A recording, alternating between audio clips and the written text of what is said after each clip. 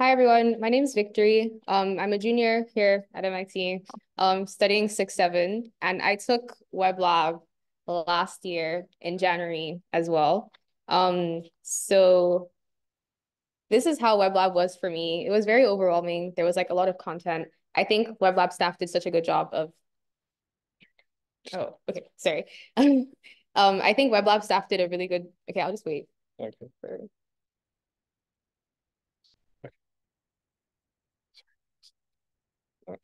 Oh, I should have hit like that. Cut off. Oh my God. Okay.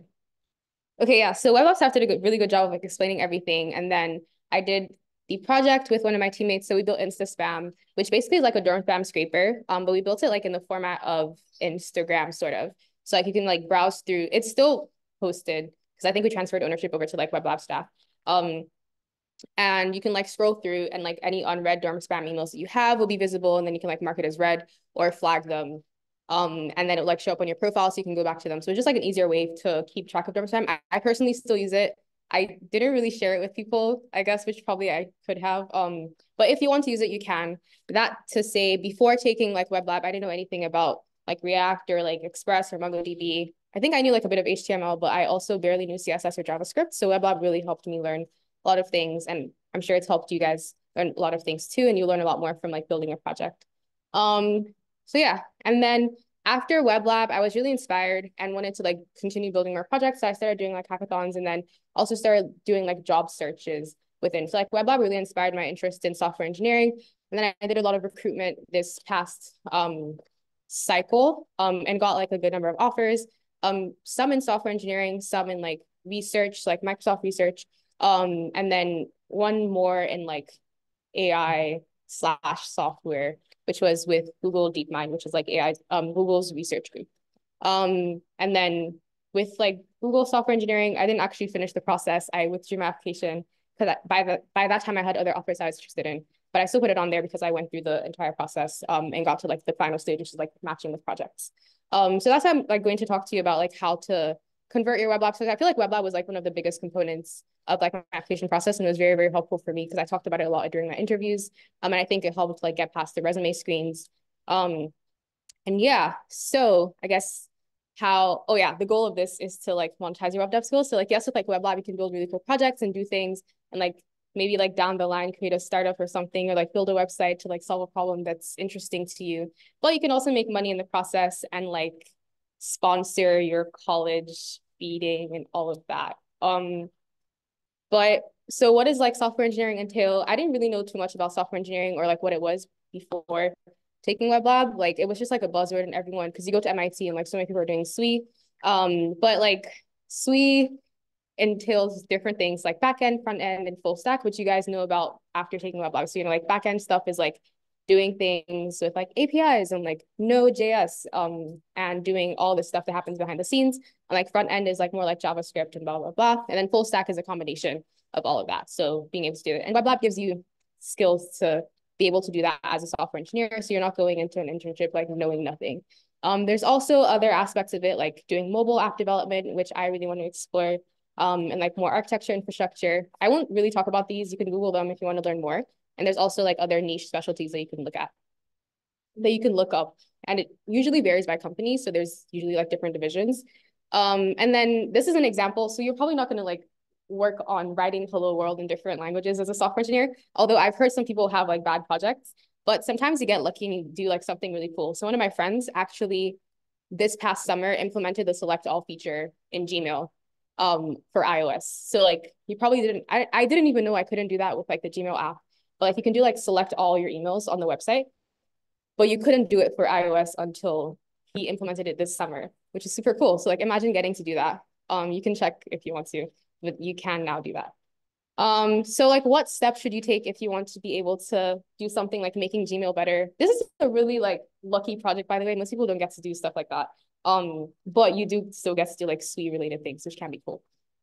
So first thing I'll say is like to update your resume. So this is how I updated mine after taking Web Lab. Um, so I put like what I did is in Insta spam and I created a project section for the first time because I didn't really have any projects until I did Web Lab. My Hack MIT project before that was really crappy. um, so it wasn't like an actual project. Um, it was just something we had to put together to submit um, when I did it for the first time.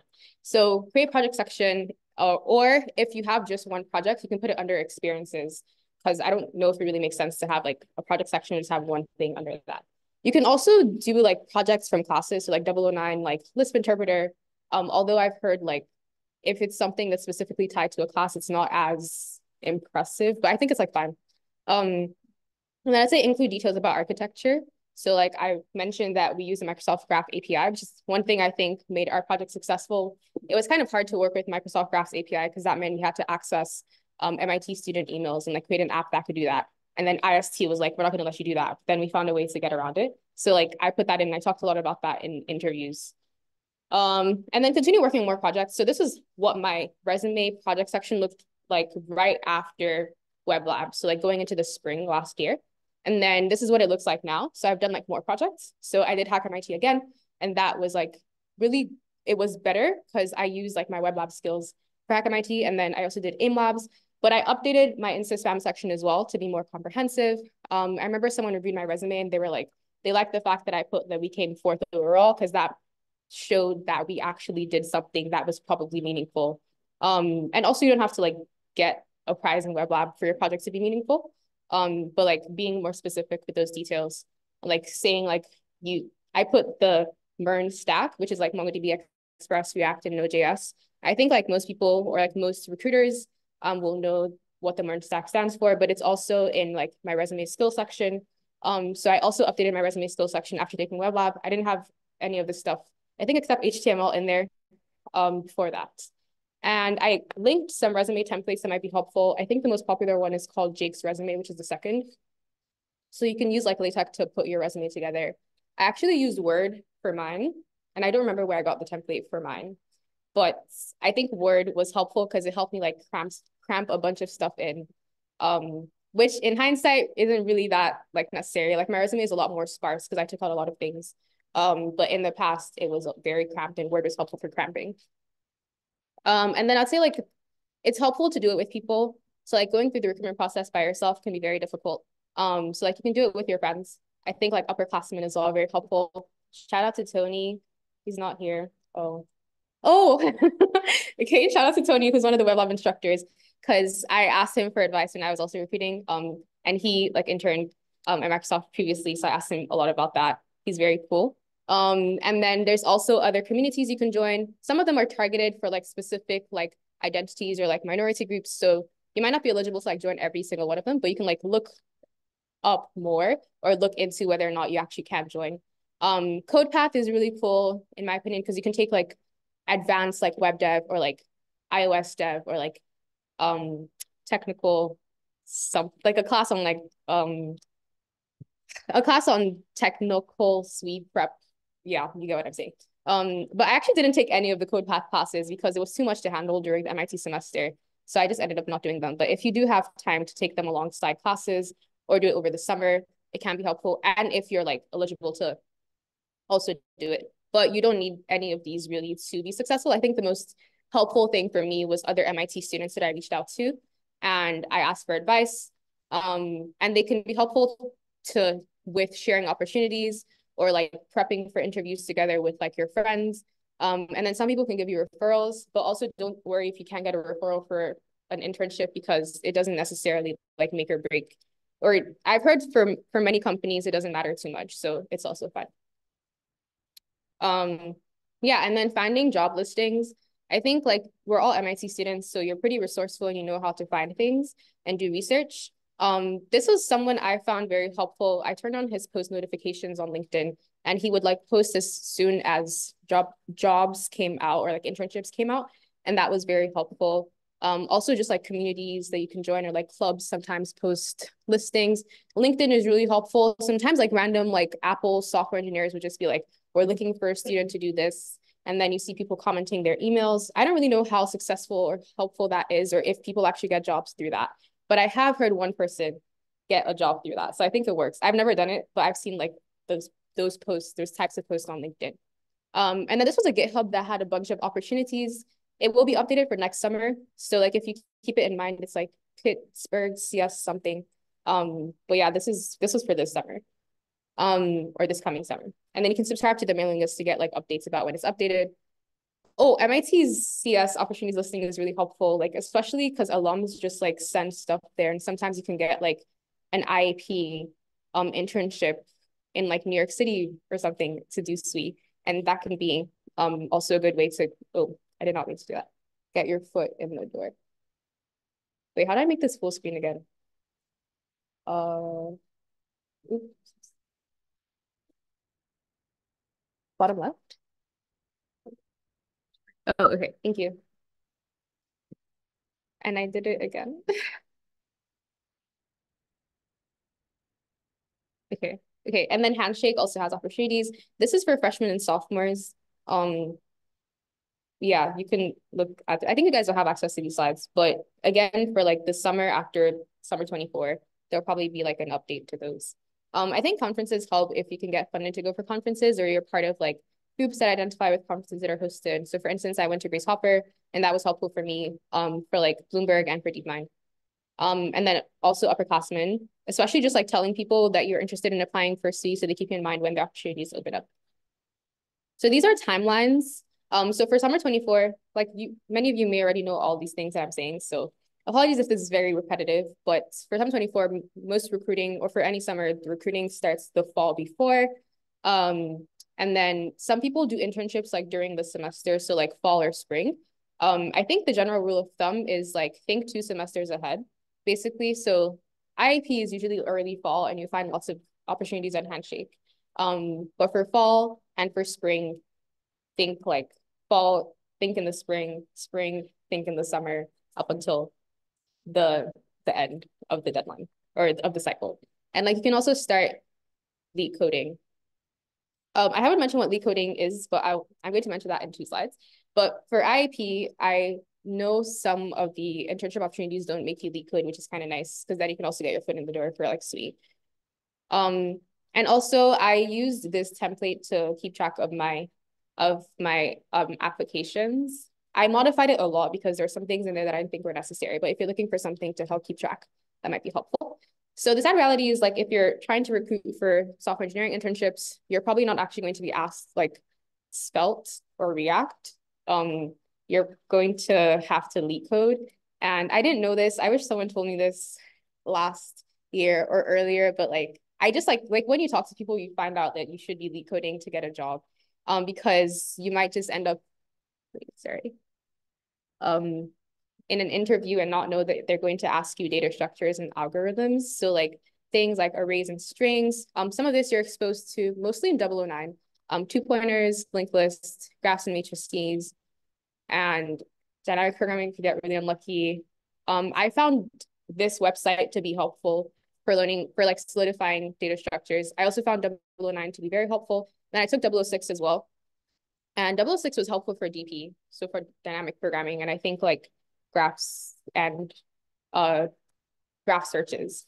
Um, but without 006, 009 is really good. Also, you can just like teach yourself these things. Low key, like you don't actually have to take the classes.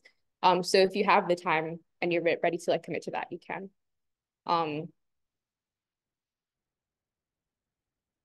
and for like the process of LeetCoding. So LeetCode is like this website that has a bunch of like practice questions within like the realm of data structures and algorithms. So you can check out this website called, or this website that has a link to this collection of questions called Blind 75, which basically selects like the most relevant LeetCode questions for interviews and gives you like an idea of where to start or like what questions to start practicing with.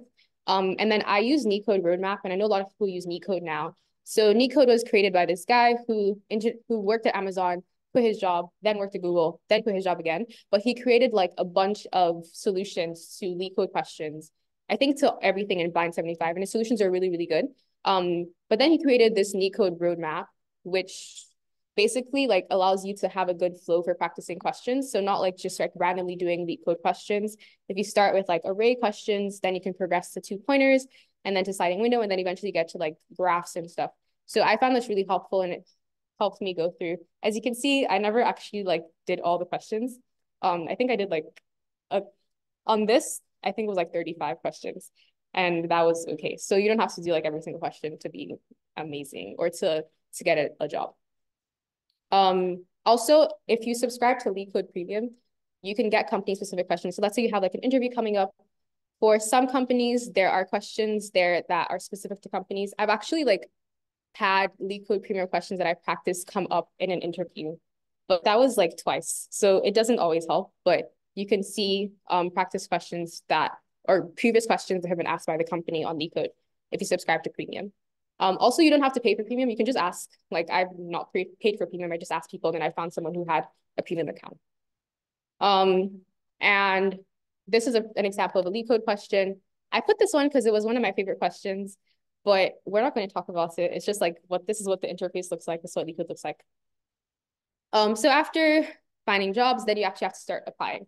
And then the resume that you updated with your web lab skills and any other like skills that you have um, that are relevant to software engineering, you can submit and then you will get online assessments. So you might have to take, you will probably have to take a timed assessment. I was really bad at these at first, but if you just continue to practice lead code questions, you get better. And sometimes you get lucky. Um, and like, even if you think you did really bad, you will still hear back. Um, so yeah, we don't need to talk about the, the websites, but those are examples of websites that you get like the online assessment links to. And then again, LeetCode questions. And then if you get past the online assessment, then you get to do interviews. I've also heard some companies don't have online assessments. I know like, um, I think Microsoft doesn't have an online assessment. Don't fact check me on that because I never heard back from Microsoft for software engineering. Um, so for technical interviews, there's they're basically like these 30 minute to an hour depending on the different companies and there's there can be like different amounts or different numbers like you can have like one or you could have like four. Um, and during these interviews, you walk through code and like live code with an interviewer, and sometimes you have to run the code. Um, you can get free mock interviews on here. The caveat being that if someone interviews you, you have to interview them back, um, which is not bad. And you can also just like ask people to interview you. But things they look out for is like communicating. So like if you're writing code, like talk through your thought process. I also won't go into too much detail about prepping for technical interviews because I include links to like things or websites that talk more about how you should be approaching these interviews but ask questions um, even if you don't offer multiple solutions talk about like what weaknesses your solution has um, and then runtime is really important. Even if you haven't taken like 042 or 006 there's this cheat sheet that i use for runtime that i thought was really helpful. Um, and then how you approach the problem. So are you using the right data structures? Are you using the right algorithms that, that they expect even if you're not, if you do something that's like O of n squared, sometimes that's okay. If you do something that's O of n, which is like the time to iterate a list that is of length n, that's probably better. Um, and then some companies don't care whether or not your solution is correct, but some do. Um, but efficiency usually matters a lot, and you also have to be fast because you don't have that much time. Uh, here are some links that are helpful for this. Oh, and then for some technical interviews, they ask you about projects. I talked about Insta spam a lot because that was literally the only like meaningful project I had. Um, and that was that was honestly enough. So you don't have to do too many things, I think. Um, and behavioral interviews, there's this thing called STAR. So situation, task, action, result. So let's say you're asked to talk about a conflict, talk about the context, talk about what you're asked to do, talk about what you did, and talk about the long-term effect or like later effect of that. Um, these are more examples. There's more on the internet. But for some behaviorals, they also ask you about your, your resume or like your projects again. And then for some companies, they have like a hiring manager or systems design interview. I was lucky enough to never have a systems design, but I did have hiring manager interviews. Um, wait, actually, no, I did have one systems design, but I didn't realize it was a systems design until after I did it because I didn't know what systems design interview was. Um, so it's usually less common than like a technical or behavioral interview. And the hiring manager, if you get to that round, usually means like you're basically at the end of the process. And sometimes it's purely behavioral. So I remember like when I was interviewing with Bloomberg, it was just this guy talking to me and asking me whether or not I liked my interviewers. Um, and you can check these out if you want to learn more about systems design, but sometimes you won't ever have to do them, but it's just good to have it in the back of your mind. Um, oh, I thought there was something else here. Okay. But yes, so like I guess the big takeaway from this is um you might not see a systems design, but it's also nice to be prepared. And oh, like companies will tell you what to expect. So they'll tell you whether or not you're going to have systems design or whether or not you will have one. Yeah. Um, again, just emphasizing that it's very different for different companies. So like some companies have like one round, some have many rounds, um, depending on how they decide to evaluate students. Um, and yeah, that's like basically it. So if if the process like works in your favor, then you can accept an offer, make money, and develop all your web dev skills. So if you get to work on a web dev project or if you get to work on other things, um, you will nonetheless be improving your coding skills and your software engineering skills. I think a big disclaimer though is like recruiting is very, very like, it's just a game of luck.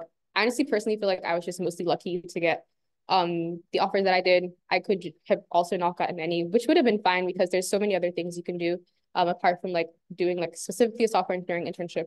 Um, and it's also hard and long. I recruited for like biotech before recruiting for SWE, and biotech was a lot easier in my opinion. Um, SWE makes you do all these like practice questions and like LeetCode. So yeah, it's not the end all be all. Um, but yeah, good luck if you decide to translate your web lab skills into a job because it doesn't hurt to make money. Thank you.